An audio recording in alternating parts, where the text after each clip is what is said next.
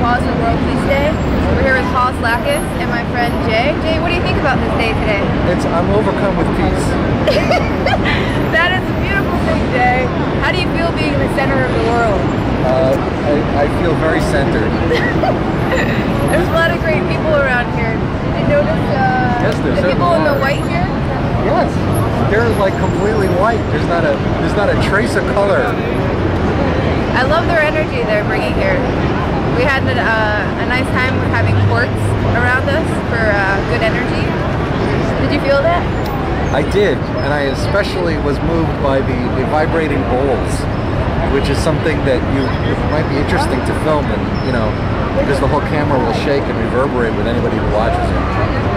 I think what it does, it brings all the positive people here together today. Yes, Did you feel that? yes, This is why you're here today in Austin as well.